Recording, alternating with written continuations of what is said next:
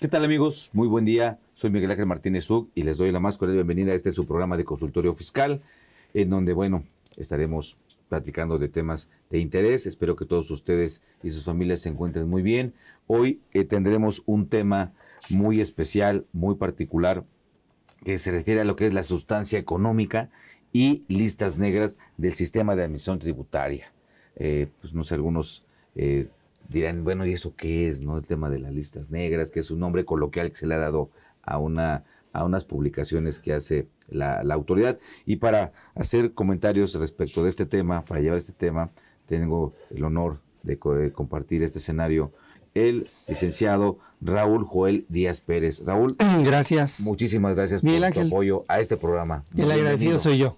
¿eh? Encantado de estar aquí en este escenario, como bien lo has mencionado, y sobre todo porque al ser egresado de la Universidad Nacional Autónoma de México, me siento orgulloso de estar aquí contigo y de servirle también a la comunidad. Muchísimas gracias, Raúl. Eh, amigos, les doy una pequeña reseña de el maestro Raúl Díaz Pérez.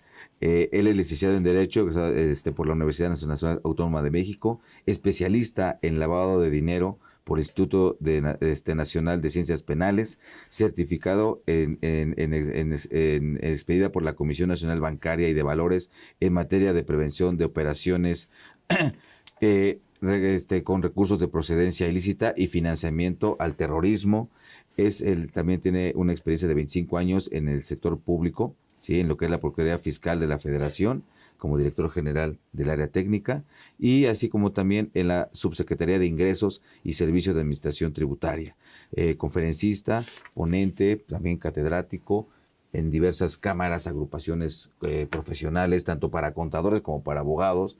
La verdad, este, creo que los comentarios vertidos por el maestro Raúl Díaz van a ser de mucha utilidad para todos. Gracias, Raúl. Muchas gracias. Sí, muchas gracias. Efectivamente, son 25 años de haber estado en el servicio público.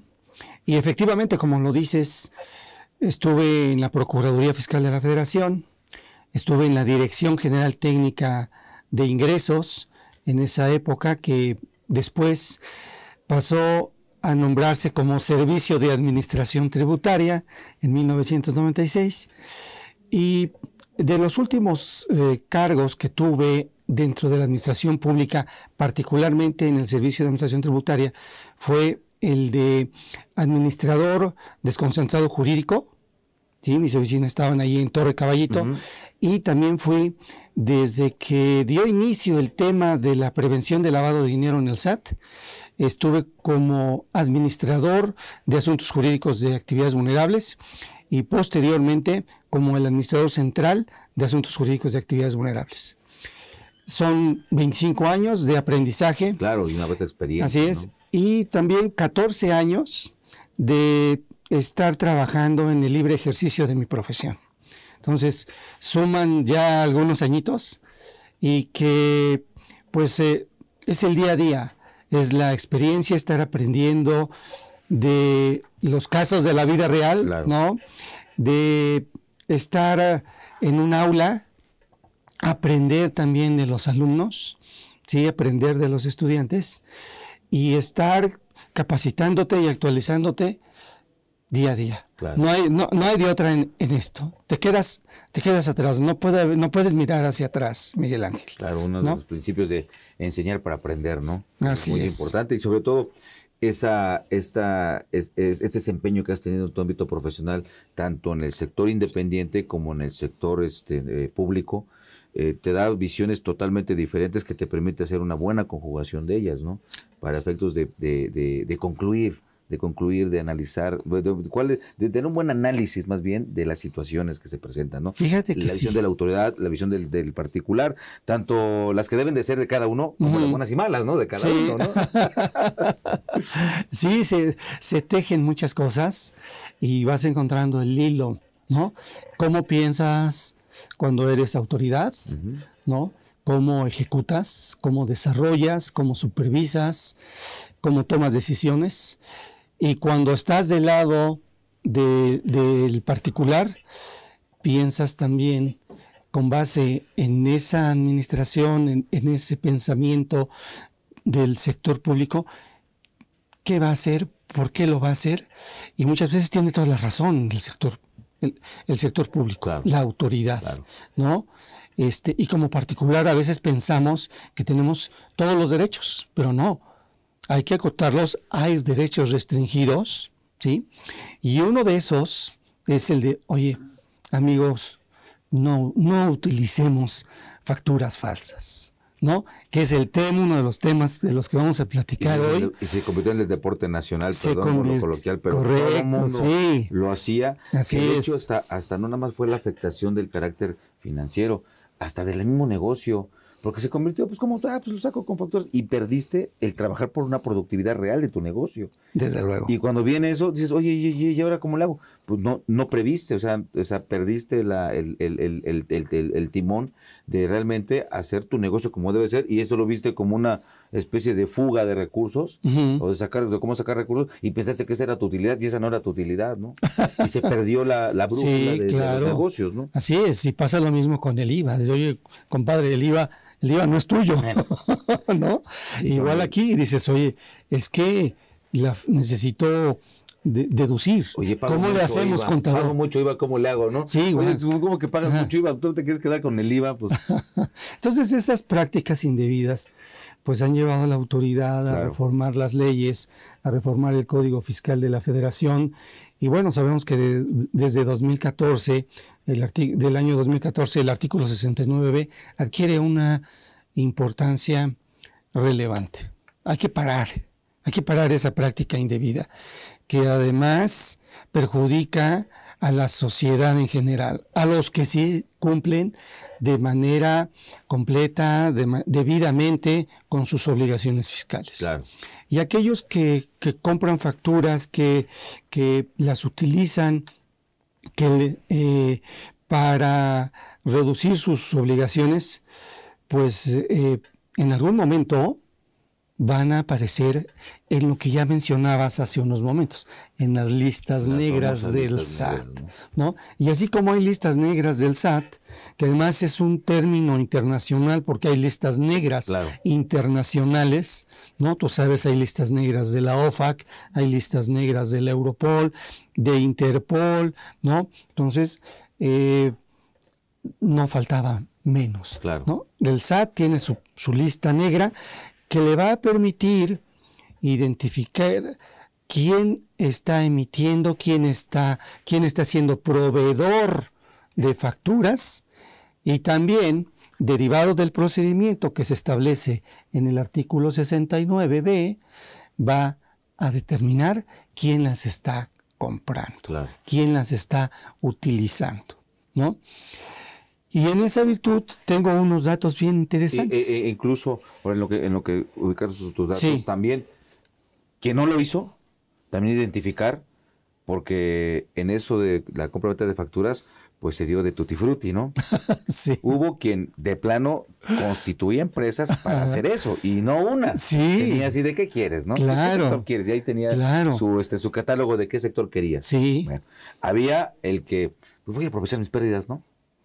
Y, se hacían.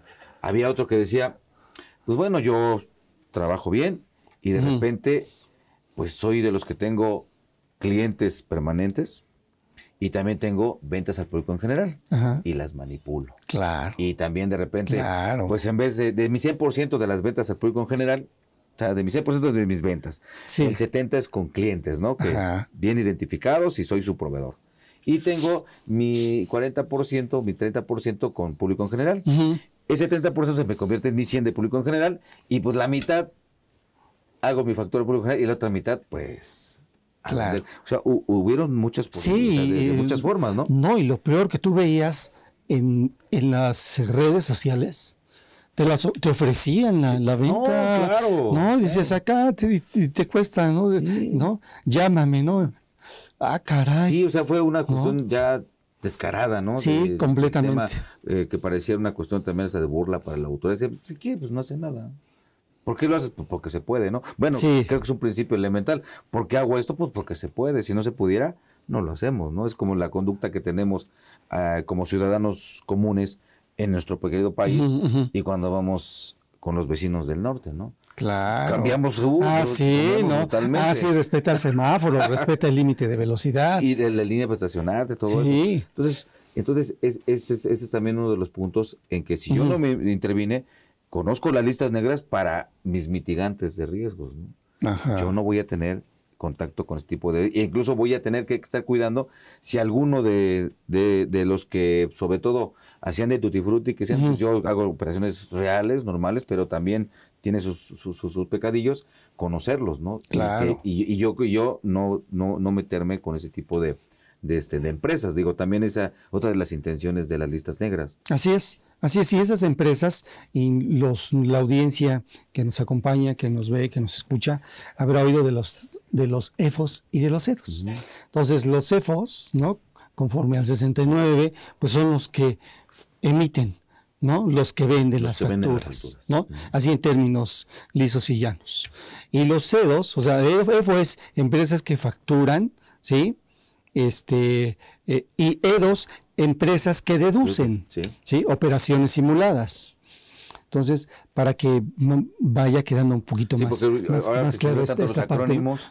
ya todo, ah, digo, pues así son. De hecho, ya los, las mismas leyes, los, este, las reglas traen ya su, su, este, su, ¿cómo se llama? Su listado, ¿no? Sí. ¿Qué significa cada uno de los acrónimos que se, que se utilizan? Pues ya es mm, común, ¿no? es clásico, ¿no? Así a es. todo, ¿no? Igual que nació el, el, el régimen simplificado de confianza, pues ya también, y ya todo el mundo le ponemos, no apodos, son los acrónimos, ¿no? Así es. Y te decía de, de- de- de- algunas estadísticas que eh, revisé y mm, es sorprendente porque al 6 de abril del 2022, de acuerdo con eh, la propia página de internet del SAT, se tiene una lista completa de este de 12.661 sujetos entre personas físicas, entre personas jurídicas que están en la lista. Claro. Fíjate, 12.661 ya en una lista definitiva. Es, ¿Será la, una lista real? ¿Será los números Claro. verdaderos? ¿Son los únicos? ¿Sí?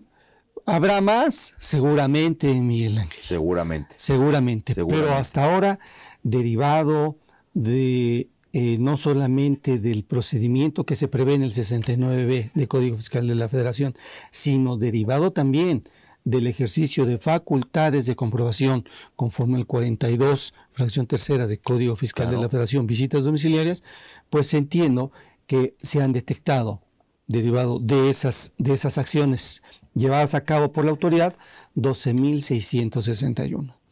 Es importante destacar, Miguel Ángel, que también el, el- el- servicio público, el servicio de administración tributaria, mm, no sé si tenga la capacidad, la infraestructura en, temas de presupuesto y de personal para llevar a cabo estas eh, inspecciones, verificaciones, auditorías o procedimientos. Que también de eso, Raúl, muchos abusan, decir, no la va a tener. Sabemos que la autoridad, el- su alcance de su brazo para hacer esos actos de fiscalización, de revisión, pues no le da al 100%, ¿no? Y también hay muchos que apuestan a eso, en de que, pues, a ver si me cae la revisión o no me cae, o si soy tocado o no soy tocado. ¿no? sí, es como un volado, se ven Claro. como un volado, ¿no? Nos gusta la adrenalina. nos- a- al mexicano, sí. Y reaccionamos hasta que eh, me tocan la puerta y me dicen, señores, soy del Servicio de Administración Tributaria. Y ahí entonces ¿Y es cuando a mí no a los demás a ver? se, vo- se voltean y te dicen, oye, tengo cinco días, tengo 15 días para presentar pruebas, ¿no? Claro, ¿Y, tien- ¿Y tienes el soporte documental? pues lo más seguro es que no. Oye, no, hazle como puedas, contador, ¿no? Hazle como puedas, abogado, pero ay- ayúdame, hay que, ayúdame a sacar esto adelante.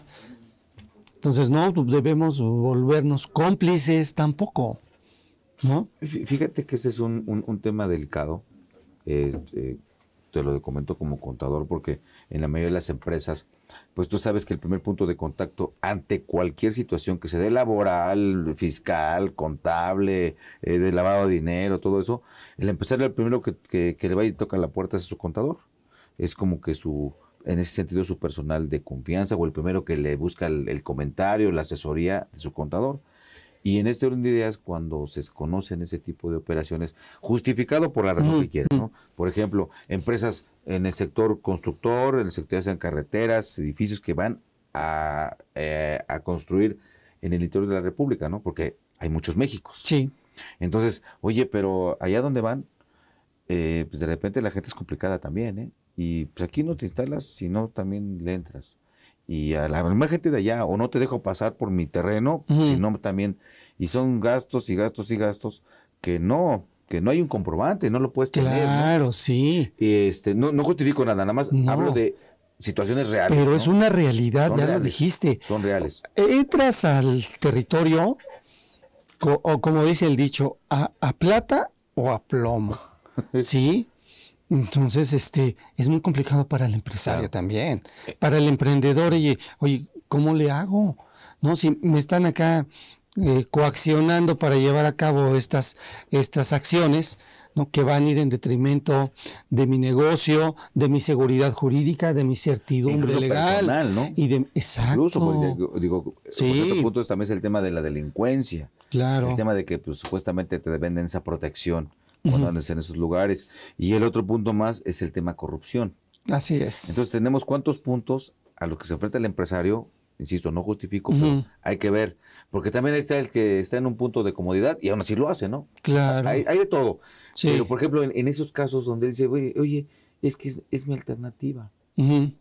Porque no, ya, ya, hasta lo dice, ¿no? Oye, y aparte, este, pues soy, justo porque si me gasté 10 pesos en eso, pues son los 10 pesos que, pido justificar. No dice, son 10 y pues le echo, le, le echo 20, ¿no? Claro. No. Dices, híjole, tener razón, no tener razón. Es como ejemplo, y perdón que lo que lo comenta Raúl, así como tú como abogado, ¿no? Ajá. Que dices, oye, pues fíjate, te toca defender a Miguel, que a lo mejor sí hay una, este, tiene razón y todo está bien. Oye, pero te toca defender a Miguel, pero es un violador. Es un ratero, ¿no? Es dicen, oye, el abogado que defiende a los, este, a los delincuentes, así se habla mucho de su ética, y de su moral profesional y cosas como esas, ¿no? Algo parecido a lo que nos pasa a los contadores en este ámbito o en, uno de los puntos que es, este que estamos tocando, ¿no? Es algo delicado, es algo Es delicado, pero, y, pero es muy fuerte, claro. ¿no? Porque hay un dicho, dice, al abogado, me imagino que al contador también, de, eh, y al revés, al contador, dile toda la verdad que él se encargará de decir todas las mentiras. Y efectivamente así es, ¿no? Y, como lo estábamos comentando, eh, sí es difícil, fíjate, para, para el emprendedor, para el empresario, montar un negocio. Y no vamos a hablar de todos los requisitos que, debes de cumplir para montarte un negocio, ¿no? Eso es además. De todas las cargas fiscales ¿no? y tributarias que para la autoridad, fíjate, hubo o hay todavía momentos en donde para realizar una verificación o una auditoría tiene que acompañarse de la Marina, del ejército, de la policía estatal, en su momento de la policía federal. O sea, ve el, grado ¿no? de exposición también que tienen sus visitadores. Ahora, volteamos la hoja y nos vamos a ver los particulares, qué grado de exposición tienen ante una realidad que impera en el país en temas de extorsiones y de delincuencia organizada.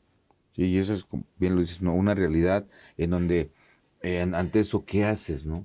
incluso hasta administrativamente hablando netamente del negocio, ¿qué mitigantes de riesgo hay para eso? Pues, no, nada, simplemente te empiezan a buscar, a extorsionar, te empiezan a llamar y se vuelven algo tremendamente complicado. ¿no? Así es. Y estábamos comentando, Raúl, el, punto de pues, las conductas indebidas, ¿no? y de las más importantes que ha afectado mucho en todos los sentidos, porque incluso hasta los trabajadores, si vemos ellos salen afectados por la PTU y, muchos, salen, afectados por esta práctica indebida que es el tema de la venta de facturas hecha tanto por los EDOS como por los EFOS, ¿no? Los dos participan en eso, pero eso trae consecuencias.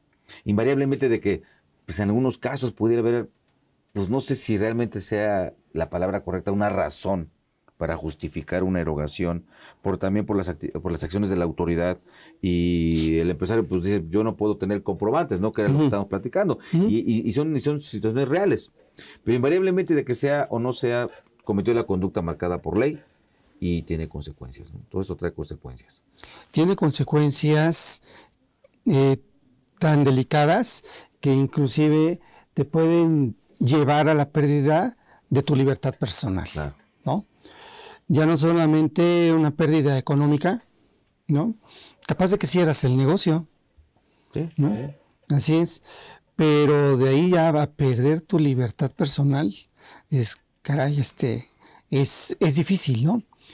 Y ah, hablaba, antes de, continuar, hablaba de, de, la estadística, en el sentido de que hay una lista completa de 12.661 al 6 de abril del presente año, y hay una ah, cifra de 320 sujetos que han desvirtuado la observación eh, o el, dentro del procedimiento que lleva a cabo la autoridad, te fíjate, 320. Y otros en la fase administrativa. Y hay otros que han acudido a los medios legales de defensa, que puede ser el recurso de revocación o puede ser el juicio de nulidad. Y dentro de este rubro del juicio de nulidad hay, de acuerdo con esta estadística, un número de 1.157 sentencias favorables que han obtenido los contribuyentes que han sido sujetos al procedimiento por parte de la autoridad, ¿sí? establecido en el 69B, o bien a través de las visitas eh, domiciliarias, domiciliarias que lleva a cabo el Servicio de Administración Tributaria. Entonces es un número creo que eh, eh, relevante en donde el particular que se ha visto sujeto a este procedimiento ha logrado a través de las pruebas ideales, de las pruebas idóneas, derruir, destruir las aseveraciones de la autoridad en cuanto a que tú vendes facturas, ¿sí? O tú las compras. Tú las deduces indebidamente. No es cierto. Sí, porque De, inicio estaríamos hablando que, aunque la autoridad tenga elementos, sigue siendo una presuntiva, ¿no? Que, que tenemos la oportunidad, todos los contribuyentes, de desvirtuarla, ¿no? Así es. Eso, eso, es, eso es importante conocerlo, saber que la autoridad, pues muchas veces, pues también puede, no nada más equivocarse, sino puede tener algunas situaciones que no precisamente le den, le den la claridad de que claro, está haciendo las cosas correctamente. Que no está entendiendo tu modelo de negocio también. Ese es un punto también muy importante. Sí, que a veces llegas con cuando estuve como administrador desconcentrado jurídico, tú veías desde... para eso, o sea, son, son eh, mm, recursos o son juicios en donde la materialidad de la operación debe acreditarse al 100%. Nada del argumento, nada del razonamiento jurídico, no. A ver, es como tan fácil, uno más uno son dos. A ver, vamos a sentarnos a la mesa y a ver tu factura, vamos a ver tus deducciones, vamos a ver tus pólizas, vamos a ver tus cheques, vamos a ver tus estados de cuenta, los bancarios, los, entonces todo se tiene que ir, que ir cruzando, ¿sí? Para llegar al fin del día determinar si efectivamente las probanzas que estás exhibiendo entre las autoridades son eficaces, ¿sí? son definitivas y van a promover en la autoridad una decisión de decir, de acuerdo contigo, es completamente adecuada tu probanza ¿sí? Tu, tu, todo tus pruebas que exhibes son suficientes, son valiosas y desvirtúas las observaciones de la autoridad. Al, al 100%. No puedes irte por, la, por un cuarto, por eh, la mitad, ¿no? O tres cuartos.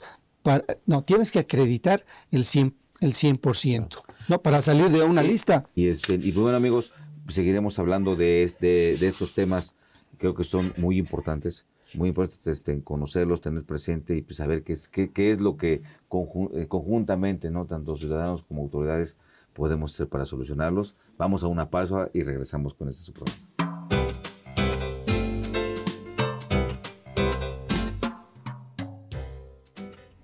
Usted tiene una ligera infección de garganta nada más. Entonces no es COVID. No, no, no, para nada. ¡Qué alivio! Muy bien, miren, eh, le voy a pedir por favor tenga tres días de reposo y estos medicamentos. ¿Alguna duda? Ninguna. ¿Cuánto le debo? 500 pesos como siempre. Ahora necesito factura. Te paso mis datos. Ay, esa se la tenía que haber pedido a mi asistente antes. Terminada la consulta ya no se los puedo hacer. Pero todavía no termina. Necesito factura. Muy bien. Pero por la factura serían 64 pesos más. ¿Pero por qué? Usted no cobra IVA. Bueno, no discutamos. ¿Me va a pagar en efectivo o con tarjeta? Con tarjeta. Si es así, por la tarjeta se le estaría cobrando el 2% de comisión. Me va a dar una taquicardia. Tranquila, tranquila. Mire, hagamos esto. Págueme con la tarjeta y yo le pongo que me pago en efectivo. Así ya no le cobre ese 2%. ¿Me parece? ¿El fisco lo tomará para mis deducciones? Claro, claro. Ah, eh, solo una cosa. Solo hoy podré extenderle la factura y no se la voy a poder cambiar. No, yo sabía lo contrario. Ahora usted sabe más que su médico. En cosas médicas, no. En cuestiones fiscales, un poquito. Bueno, ¿y qué uso le va a dar a la factura? Solo para mis deducciones de impuestos del próximo año. Nada más. Muy bien, voy a necesitar por favor su correo electrónico. Y también mi teléfono, ya que ahora salgo por el pan. El correo electrónico es para poderle enviar la factura por ese mismo medio. Bueno, se lo apunto. Muy bien, eh, espere por favor afuera y mi asistente le hará todo el trámite. Gracias, doctor. Hasta luego. Ay, estos pacientes. Cada vez se ponen más divas que Lucía Méndez cuando tiene hambre. En fin.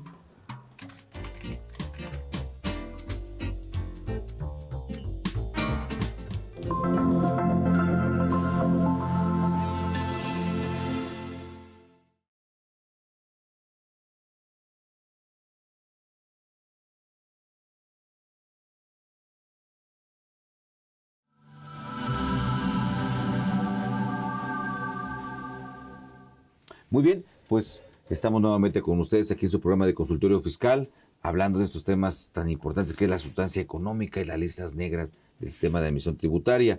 Ahora, e- e- este punto es, es- es muy importante, es trascendental, Raúl, el tema que acabas de comentar de la materialidad. Ajá. Porque de repente nos volvemos muy, este, muy fiscales, ¿no? La ley, me, la ley me tiene que decir qué es la materialidad, cómo la, cómo la, la, la, la, la, palpo, cómo la hago válida, qué es, ¿no? Entonces tengo una inseguridad porque la ley no me dice, ¿no? Y así podemos hacer muchas cosas, ¿no? Dependiendo del punto. Pero en concreto, este, creo que son como de esos conceptos que, que si no están bien, no están definidos en la ley, eh, sí podemos llegar a ellos, ¿no? En, e- en eso, pero bajo tu punto de vista, ¿cómo podrías conceptualizar o definir qué es la materialidad, ¿no? Porque eh, de repente yo me puedo poner en una posición de decir, autoridad, tú me dijiste que no, pues también ahora tú demuéstrame que no la hay. ¿Sí me explico? Porque yo tengo que demostrar que sí, pero ahora tú demuéstrame que no. Entonces, de repente entramos en argumentaciones medio raras que a veces llevan a alguien a triunfo, ¿eh? Porque va a depender también, pues, el, su, eh, su expertise, cómo diseñó, los, cómo argumentó. Y eh, por el otro lado, el juzgador, pues, cómo lo analizó, cómo lo vio. Claro. Pero, pero en una cuestión eh, genérica, conceptual, ¿qué es la materialidad, Raúl? Pues mira, la materialidad, según se, debo de entenderla, es aquellas acciones realizadas por quien lleva a cabo una defensa, ¿sí? o, quien, o quien se opone a una decisión de autoridad, de acreditar fehacientemente, fehacientemente con, con documentos, con soporte documental, que las imputaciones que me realiza en una eh, oficio de observaciones, en una acta final, ¿sí? son completamente ajenas a la realidad. Y que tengo el cheque, que tengo la factura, que tengo eh, el estado de cuenta bancario, que acreditan que mi operación se llevó a cabo conforme a un procedimiento contable que acredita, te digo, de man- sin lugar a dudas, que mi acción es completamente, no solamente eh, adecuada a la, a la ley, sino completamente eh, correcta conforme a los cánones que marca eh, el sistema de contabilidad que llevo en mi empresa. Que fue real. Que fue real, efectivamente. ¿sí? Y para eso tengo mi soporte documental. y, y, entonces, ¿por qué, perdón, pero un contrato? De por sí no tenemos mucha cultura en los negocios. Eh, eh, ahora sí que lo más importante es que me des el servicio y que te yo mi CFDI para justificarte el pago. ¿no? Y es como que nos quedamos ahí. Ya después eso se va a la contabilidad. Bueno, ya hay contabilidad y esto. Pero de repente no usamos mucho los contratos ni a veces con, ni en arrendamiento, ni en servicios, y, ni en enajenaciones, ¿no? Como que es una práctica que se ha ido poco a poco tomando, pero tampoco un contrato es suficiente, según entiendo. Bueno, en materia civil, como tú recordarás, basta el consentimiento entre Miguel Ángel y Raúl para que el contrato surta sus, sus efectos entre pares, ¿no? Entre nosotros. Contra terceros ya no.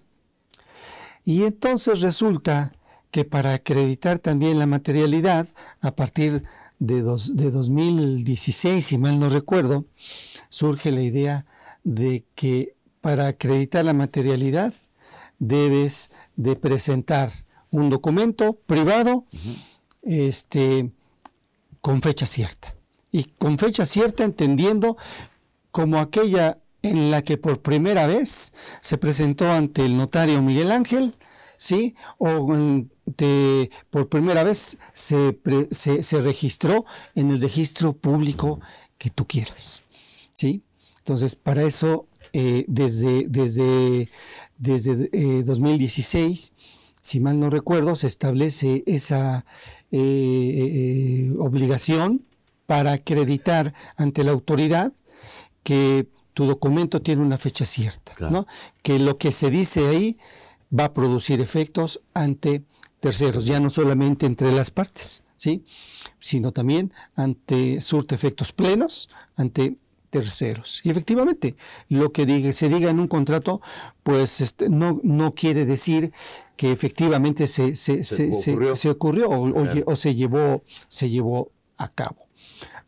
Y qué bueno que tocas ese, este punto también, Miguel Ángel, porque ¿qué pasa si a raíz de la, de la jurisprudencia de la Corte, inclusive, en donde se habló ya de, que, de, estos conceptos de la materialidad, bueno, y es de 2018, por ejemplo, la jurisprudencia, oye, ¿y, puede ser retroactiva la jurisprudencia? O sea, yo mis, mis, mis contratos, mis, mis operaciones las realicé antes de 2018, por decirles un dato. la autoridad puede exigirme ¿sí? Con base en esa jurisprudencia, que deba yo tener una fecha cierta, pues afortunadamente también la Corte definió que eh, eh, a través de una jurisprudencia y con base en el artículo 217 de la ley de amparo, la jurisprudencia de la Corte surte efectos si es vigente y es obligatorio y es aplicable a partir de que se publica en el Semanario Judicial de la Federación. No puede perjudicar hacia atrás a sujeto o persona jurídica o física alguna. Exactamente. 14 constitucional. Así es. Entonces ahí es donde también tenemos que tener este eh, el abogado y el contador es, ese, ese, ese, acervo para decir, oye, SAT me estás exigiendo una formalidad que para el año en que se llevó a cabo no, mm, estaba vigente, no era obligatorio. Por eso también hay criterios, incluso del Tribunal Federal de Justicia Administrativa, en donde, ok, la materialidad, autoridad, tienes todas las facultades para revisar la contabilidad del contribuyente. ¿sí? Cruza la información, ¿sí? Y eso te va a llevar a que eh, este, a, demostrarle al contribuyente que hizo mal, o al contador del contribuyente, o a su abogado, que hizo mal en alguna operación. O al revés, ¿sí? Ese cruce que va a hacer la autoridad, ese, esa, ese análisis probatorio, ¿sí? Eh, lo va a permitir al abogado y al contador, porque van de la mano, ¿sí? Acreditar y eh, lograr desvirtuar que las afirmaciones o imputaciones por parte de una autoridad no están acordes a la, a la realidad. O sea, la fecha cierta está, está muy bien, qué bueno, ¿sí? Pero si no la hay, entonces realiza las acciones autoridad pertinentes para que eh, este, no solamente te bases en hechos, ¿sí? Del que me vendió la factura. Yo te acredito con, la- con, con soporte documental que sí hice bien mi operación. Claro. A lo- mi operación. A lo, mejor fui una, a lo mejor fui una víctima, Claro. ¿no? Pero yo sí realicé la operación. Sí, porque a lo mejor me tocó uno de los que hacen de Tutti Frutti y las sorpresas conmigo eran reales, pero detectaron otras que no. Sí. Y- y es donde viene también una de las incomodidades de los contribuyentes, ¿no? Oye, ¿por qué vienes a afectar a mí? Si el que hizo la conducta indebida fue él. Correcto. Y dicen, oye, pero no, pero tú no tuviste cuidados Ujú. en ver con quién tratabas. Bueno, pues a lo mejor cuando yo traté con él, que es el pasado, pues no estaba la, esa lista o no estaba él en la lista. Ajá. Lo incluyes a posterior. Correcto. espérame, ¿qué mitigante puedo yo poner ante, ante cómo meterme a cuestiones, si me permite la expresión, tan íntimas del funcionamiento de una empresa, ¿no? Sí. A ver, ¿me vas a pasar esto? Pues espérame tantito, ¿no? O sea, Híjole. ¿Por qué te voy a dar esa es- información, es- no? es este, es- es- ¿Por qué te voy a dar esa información? Oye, dame una copia de acta constitutiva. Oye, pero ¿por qué? Ahí, ahí incide mucho el poder, el, el poder de negocio, el poder de compra de. Ah, pues es que si no, no vas a ser mi proveedor. Pero te das cuenta quién es, no, te doy lo que quieras, ¿no? Sí, Y ya eres proveedor porque te interesa hacer negocios con él, ¿no? claro. O también, pues si no, no te vendo, no, no te compro, no te tomo como. Entonces, cada quien va a poder, va a aplicar su poder de compra y su poder de venta. Pero te metes con información, pues muy íntima, ¿no? En decir, es como decirte, oye, este, eh, Raúl, te agradezco la, la- la- la- invitación, digo, la acepción de la invitación, este, pero eh, ahora que nos vemos, metas tu acta de nacimiento, metas tu cartilla, entonces, porque quiero ver que, que, que- que el invitado sea una persona honorable. Va a decir, oye, Miguel, este, pues, ¿por qué me pides todo eso, no? Sí, Ah, sí, sí. mira, en la UNAM tenemos nuestro mitigante de riesgo y no Ajá. queremos traer personas. ¿Sí me, sí me? Pero también el empresario es reacio a ver Esto es- esas realidades, Miguel Ángel. Hay una ley, tú la conoces, la ley federal, la Ley General de Responsabilidades Administrativas, que establece de manera determinante que las empresas este, deben de exigirse a sí mismas el tener, por ejemplo, una política de integridad. Claro. ¿Tienes un código de conducta? ¿Sí? Tienes un código de ética en donde se establezcan líneas ¿no? de actuación de tu alta... No sé, las tengo, pero no escritas. que es lo común. Es lo común. Yo, sí, sí, sí, aquí sí, todos, todos somos. Sí, no, Pero no, es- que no lo tengo por escrito, ¿no? Exacto. Y ahí tenemos ya un foco amarillo, Claro. si no es que foco rojo, porque de ahí se... Sí, como naranjadito, ¿no? Ya, Sí, ya- ya ni está amarillo ni rojito, Así pero ya preocúpate. Así es, hay que preocuparse porque si no tienes esas políticas de integridad, un manual de organización, ¿sí? Tú o tu personal, a quien además debes de capacitar para que no incurran en esas prácticas indebidas, ¿sí? Pueden ser sujetos igual a un proceso, ¿no? Te pueden acusar. Acuérdate que ahora la responsabilidad penal de las personas jurídicas está en primer plano Claro. ya, a nivel internacional, a nivel nacional. Que no haya denuncias, que no haya este ejercicio de acciones penales por lo que hemos hablado, falta de presupuesto, falta de personal, quizás falta de capacitación. Ese es otro punto también Sí. importante, ¿no? El, el tema, por, por ejemplo, la autoridad cuando se acerca y revisa, pues eh, eh, desde el punto de vista del, del contribuyente o del empresario, dice, es que la, la autoridad quiere que hagamos los negocios como ella quiere, ¿no? O como ella se imagina. Ellos no saben de negocio. Eh, hace rato dijiste algo muy importante, que es el, el- el tema de la oportunidad de demostrarle a la autoridad mi modelo de negocio. Porque eso tiene mucho que ver. Tienes que Eh, sentarte con ellos, Sí, eh, mi modelo de negocio porque a veces no lo entienden. muchas ¿eh? veces me, me conlleva manejar efectivo y tengo que manejar Exacto, efectivo. exacto. Y no hay otra más que manejar efectivo. Ajá. A lo mejor tan, eh, híjole, un paradigma creado de satanizar el uso de efectivo, ¿no? Oye, pero ¿por qué? Mi negocio así es. No hay otra forma de hacerlo. Se maneja mucho en el tema de los reciclajes, ¿no? Que de todo eso se Claro. maneja. Y el negocio así es. No hay otra forma de, de no hay otra hacer, ¿no? forma y, y, y Nada más que hay que tener la paciencia para explicárselo adecuadamente a la autoridad y probárselo. No nada más explicarle, sino explicarle con documentación y todo lo que, mis controles y todo lo que platicamos, ese negocio. El tema es que muchas veces es un negocio chiquito. o es un negocio de cierta envergadura.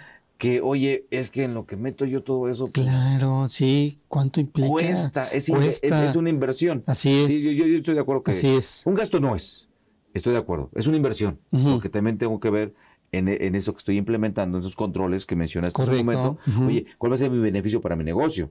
Porque no que tengo que explotarlo, no nada más es por cumplir y ya. Si lo veo así nada más que es por cumplir y ya, sí lo voy a ver como un gasto. Sí. Pero si lo veo en decir, bueno, además del cumplimiento, voy a ver cómo esto sí lo exploto, cómo es útil, o sea, por qué se me convierte en obligatorio en función de mi negocio.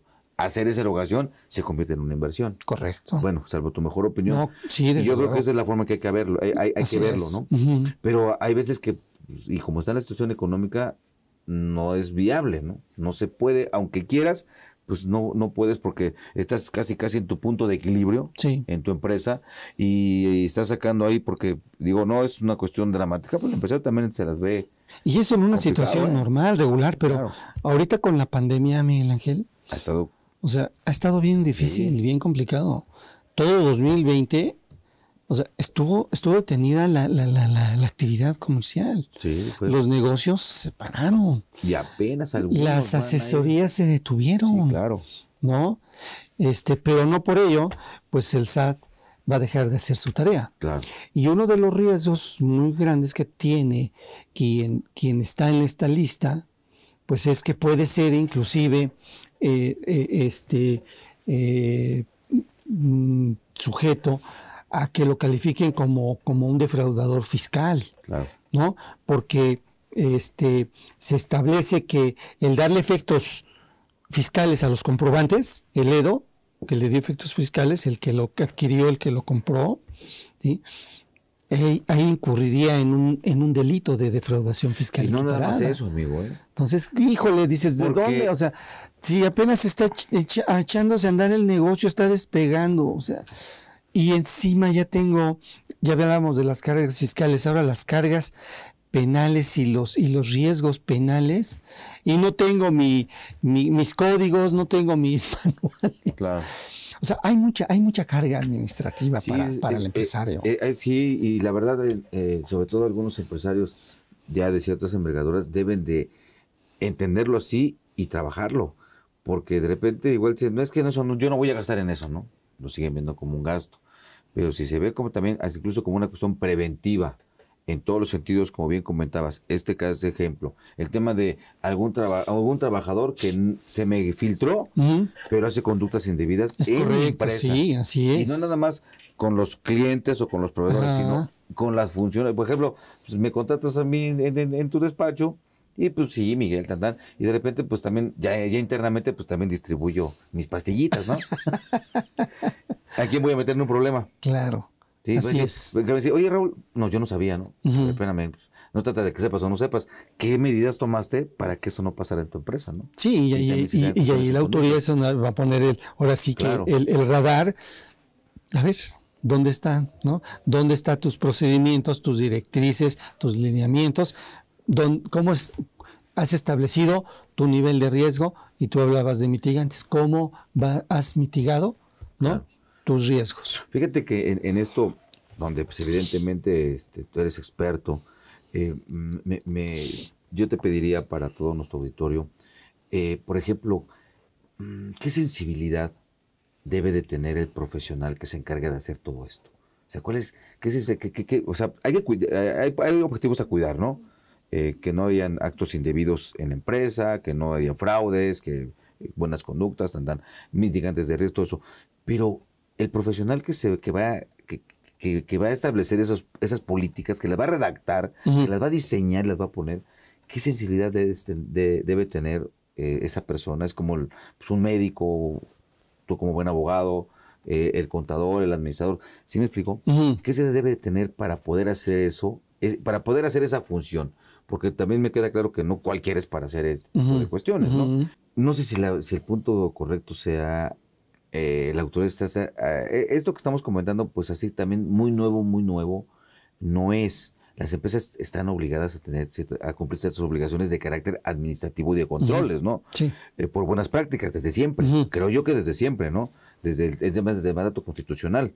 Dedícate a lo que tú quieras, pero hazlo de manera lícita, que no afectes a terceros, y todo eso te obliga siempre a tener tus controles, ¿no? De que. De que no te pases, como decimos coloquialmente, nunca te pases de la raya, ¿no? Y sobre todo por la raya marcada por la ley.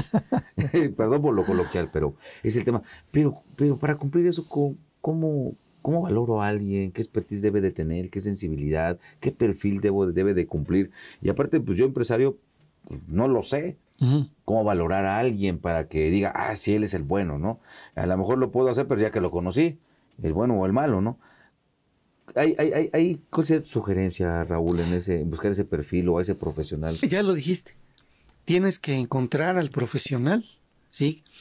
Que te ayuda a solventar este tipo de situaciones. Eh, si está certificado ese profesional, ¿sí? Pues mucho mejor. Ese sería un punto, Ese como sería un de, punto. de valor, de valorar, ¿no? Así es, un valor agregado. Está certificado, ¿no? Puede tener este eh, eh, una certificación eh, nacional o extranjera. ¿sí? De, de hecho, ahorita que lo Pero- comentas, y perdón que te interrumpa, pero igual, amigo, quiero felicitarte por la reciente certificación que acabas también tú de obtener, que no muchos obtuvieron. Eh, ahí va, ahí, ahí va el, el tema, pero fuiste uno de los que lo tuviste, pudiste obtener por parte de la Unidad de Inteligencia Financiera, si mal no Sí, recuerdo, sí, sí, ¿no? así es. Fuimos de los pocos este, afortunados. No. No afortunados. Y también para la certificación de la Comisión Nacional y de Valores son pocos los afortunados. o sea, Claro. entonces, hay que prepararse Hay mucho. que prepararse, hay que, hay que ser, porque puede ser un profesionista, pero ser muy poco profesional. Entonces hay que, hay que ser empático con, con el empresario, con tu cliente. Si le vas a solucionar problemas, tienes que hacerlo profesionalmente, ¿no? Y acercarte con su, con su alta directiva. Porque hay empresas que te piden que, que les soluciones el tema que te van a encargar y tienen a su gerencia de finanzas, al de contabilidad, al de tesorería, al de recursos humanos y muchas veces no todos entienden al 100% la misión, la visión y los valores que tiene esa empresa. ¿sí? Te pueden dar opiniones diferentes. Y el llevar a la práctica con una empresa esta, una serie de entrevistas con ellos para conocer el, el alma ¿no? de la empresa, su, su misión y su visión y sus valores, Y es que ni el empresario lo conoce, ¿eh? este, es importante, te digo, ser empático con ellos, porque eso te va a permitir conocer, conocer el negocio. De otra manera, no, no, no vas a poder ofrecerle alternativas de solución al, al empresario. ¿sí? Y desde luego, pues este, lo que le ofrezcas, pues o lo va a llevar a incurrir en malas prácticas e incluso eh, en ocasiones este, a que en una supervisión de la autoridad que tú quieras, ¿sí? del sector financiero o del no financiero, un supervisor que este, pues puede llegar a imponerle sanciones, Claro. que puede llegar al- al- al- al- a la disolución, al cierre de la empresa, ¿no? a la imposición de multas, y eso no, no, no queremos como profesionales de, de lo- del empresario que habremos de ofrecerles soluciones reales, ¿no? Soluciones que va- van a tender a darle cumplimiento a las obligaciones que tenga la empresa de que se trate en materia ambiental, en materia de PLD, en materia fiscal. Entonces, sí, acérquense al, al profesional. Sí, o sea, no, no, no es tenerlas por tenerlas, ¿no? Y, y bueno, no sé, esta es tu mejor opinión, porque en muchas empresas eh, buscan que el mismo personal lo haga. Sí, es verdad. Este, digo, habrá razones, ¿no? Pero en muchas, ¿eso sería lo ideal, que el mismo personal lo haga? Mm, Claro que no, yo creo que mm, pasa, Miguel Ángel, cuando haces un artículo o este lo lees y lo vuelves a leer y yo ya lo terminé, Miguel Ángel, dale una lectura y ya le encontraste es palabras mal escritas, errores ortográficos y para ti estaba al 100%. Claro. Y eso pasa con, con, el- con, la- con las gerencias que tienen las empresas. Están enfocados hacia, hacia un solo, hacia, hacia el frente, Claro. pero no ven la, a su alrededor. Y ese es el profesional, el que derivado de conocer el negocio, ¿no? El modelo de, y de esa la empresa, preparación que y de trae, la ¿no? preparación Porque- y la capacitación y el expertise que traigas, vas a darle a, a conocer Claro. ese, ahora sí que esa visión 360, Claro. ¿no? Así alrededor, ¿no? Eh, por eso, reitero, el asesor externo es ideal. Sí, Sí. Y, porque muchas veces el, el- el- el- el mismo personal, independientemente que tenga grados académicos impresionantes o, o no los tenga, o tenga expertise en el manejo del negocio, no siempre, bueno, igual coincido contigo, no es la persona ideal para hacer estos manuales, porque pierde esa visión, no la tiene, pierde independencia mental. Ajá. También ese es un punto importante, que ese es otro punto, yo creo que más como que a detalle te- también conlleva a malas prácticas. No es tampoco contemplado como una buena práctica cuando se valoren esos manuales. No sé si esté yendo Desde correcto, luego, ¿no? así es, sí. ¿Y- ¿Y cómo vas a, yo como gerente de finanzas, cómo voy a calificar mi actuación, no? Mis mitigantes o mi nivel de riesgo. Para mí puede ser un nivel, tener un nivel de riesgo medio cuando el de afuera decir, oye, amigo, estás en un nivel de riesgo al- alto, ¿no? Entonces, yo me voy a tomar unas aspirinas Y ni tú mismo te cuidaste las manos de ti cuando el, mismo, el ¿no? de afuera te dice, oye, necesitas hasta suero, Claro, ¿no? claro. Así es. Sí, es eso también cuestiones que hemos visto porque de repente se dice, es que a la autoridad no se le da gusto.